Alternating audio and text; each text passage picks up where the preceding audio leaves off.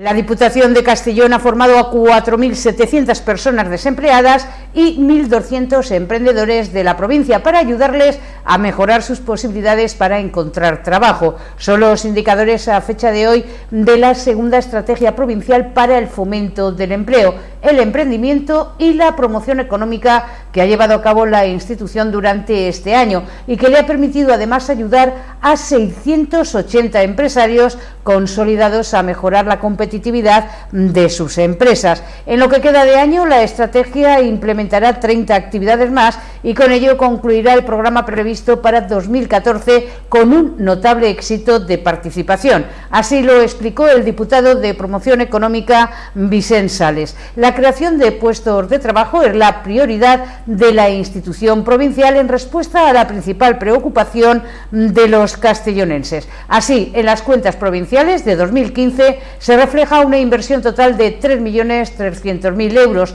para políticas activas de empleo, como son el Programa de Empleo y Turismo Social Castellón Senior, el Programa FP Dual para el Empleo Juvenil, el Plan de Empleo Conjunto entre Generalitat, Ayuntamientos y Diputación y el Plan de Formación e Intermediación Laboral para ayudar a encontrar empleo y formar a cerca de 5.000 personas desempleadas en la provincia.